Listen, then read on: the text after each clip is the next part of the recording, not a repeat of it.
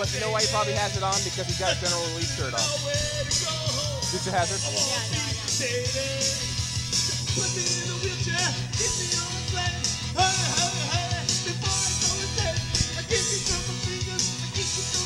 Oh no, oh, oh, oh, oh. Huh? Eddie brought a crowd. Yeah, he did. Woo!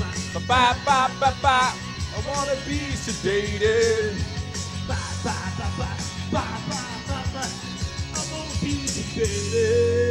Woo! Eddie! Eddie!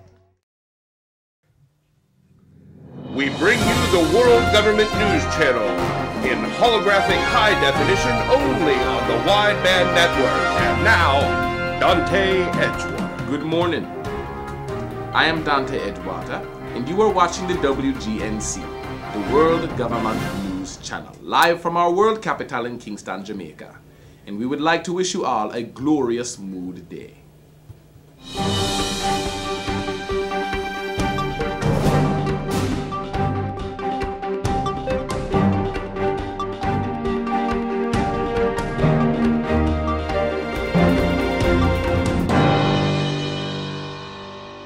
We dedicate our broadcast to a 50 year look back when Eddie Van Eddie brought us a simple household product responsible for unity, emotional liberation, and most importantly, world peace.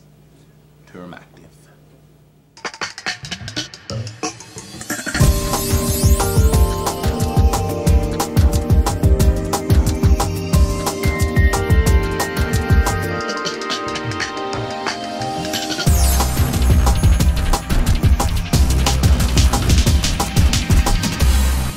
Spring 2008. Shortly after receiving a patent for his innovative product, Eddie Van Eddie joins forces with billionaire Ronald Trump to bring Termactive to the public. By 2009, not only had it dominated the market, it had become a cultural phenomenon.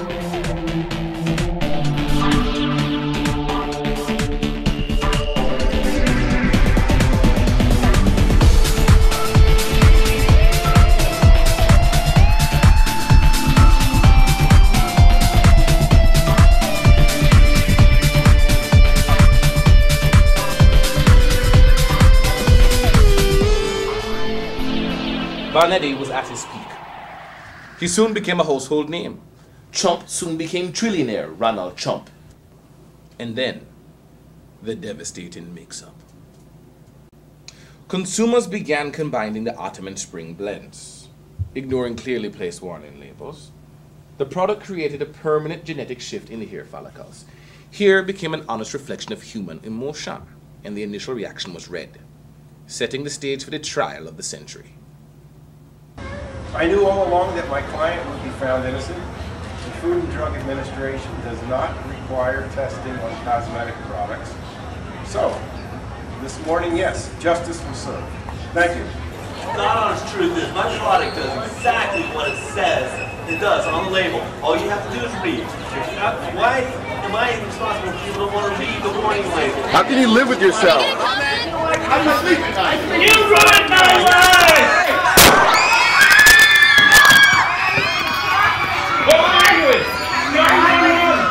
Eddie has been shot. The death of Van Eddy seemed a physical representation of his declining corporation. Chump, always the entrepreneur, repackaged the shun technology for the US government. Law enforcement made quick use of the New Corp's technology.